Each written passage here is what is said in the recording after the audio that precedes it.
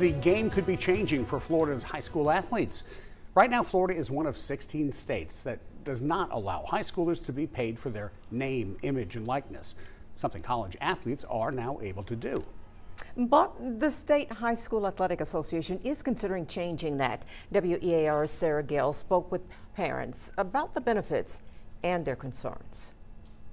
The Florida High School Athletic Association is asking the public for their opinion on NIL deals for high school athletes. There's a lot of people that are against the NIL stuff in college and and now probably in high school. There's a lot of people that are probably have an argument against it. I have an argument for it. Josh Brown is the father of two boys. One is still in high school. I think that what it would do would motivate him more. Brown tells me as a parent, he's excited about this prospect. I've seen some of these kids. I've I've watched some of these kids grow up from little league sports and now they're in high school. If they can make a couple of dollars, if they can get them a new car, if they can help mom and dad out, uh, if they can do stuff for their family, that's what it's all about. A bill regarding high school NIL deals is already being pushed in Alabama. Danny Corte is the executive director of the Mobile Sports Authority. He says it's something to consider. As a traditionalist, I don't think any of us like it. That's not how we were raised. We played high school sports a lot of times for the love of your school, for the love of the game, but it's just something that, that has evolved. 25 other states already allow high school NIL deals, but there are strict rules, including recruiting guidelines. Many students have already benefited from the deals, but there are others, coaches, legislators, and parents that have reservations whether it's about the impact on the sport or the manipulation of the athletes. Even Brown can see some negative possibilities. With everything, there's going to have those people. Those people are going to be out there that's going to try to take advantage of these kids. There will be people that are out there that try to lure them away from schools, that try to, uh, you know, get them focused just on sports and not the academic side of things. Sarah Gale, WEAR News. Now, there are, of course, concerns about this. Many of them. Dan Shugart's been having a number of conversations with a lot of folks about this. It's the talk of the sports world. Well, it really has been at the high school level. Talk with the coaches going back to last week about this very issue. And uh, the, the athletic directors, coaches, these are guys who, who and women whose careers are built around doing the best things for their kids and helping right. them succeed. And, and the opinions on NIL range from you know, let's see how it shakes out to cautiously pessimistic to this is a terrible idea. We've heard all of them. There are a number of concerns. They range from the practical to the philosophical. It makes uh, illegal recruiting that much easier. It almost codifies the ability to, uh, you know, pay a player to jump schools, that sort of thing. That's a major concern. The FHSAA, can they enforce it?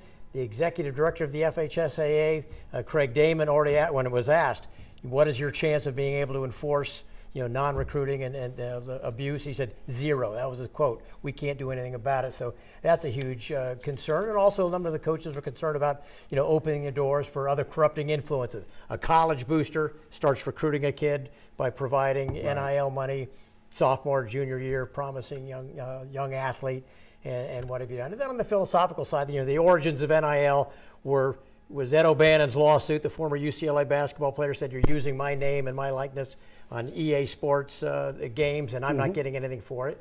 And so, it, it, how it started was if you're using your name to, for take money for people, then, you know, then you should have a piece of that. Well, how many high school athletes are making money for their high schools? Well, that number is right. close to zero. And you know, high school athletic departments are pretty well strapped anyway. Are you taking some of the money that goes to the athletic programs to fund all sports and funneling it towards athletes? So these are you know all questions that have to be answered. College sports have done a terrible job. There are no guardrails on on you know on setting up those guardrails to to make sure it doesn't get abused, and so that's a, a, a huge concern that you know, yeah, college, the college athletes get a lot of exposure, a lot more than a high school athlete. Do you think there's enough, would there be high school athletes talented enough, well known enough to actually profit by this and actually sell their name, image, or likeness to somebody who wants to advertise with them? Well, the question is, are there, you know, the, the one way to ask it, are there athletes at the high school level who are, who are uh, promising enough or talented right. enough to be recruited to another school, which is illicit in itself? That goes on. That's going on, you know, since since I was young, and that's a long, long time. but uh, uh, you know, so if that's going on, then obviously this is another vehicle maybe to advance that. Those are all concerns, and again, these are coaches and athletic directors say, I want to provide for our kids, help them succeed, but how do we set up the guardrails? We haven't done that yet in any of the implementations of NIL at the college level, and the concern is how much harder would that be at the high school? Well, at least Florida has in a position to see what the other states have already approved this, and the problems that they run into, and learn from that perhaps. Well, I mean, there's even I've heard a concern that that there's you know our, Florida our Florida athletes going to jump to Georgia or jump to Alabama if they get it. Um, that's a concern. If the money's right, why not? Well, you know that that could that certainly is is, is a possibility there. Is that a bad thing? I mean, that's that's that may be a that might be carbon neutral.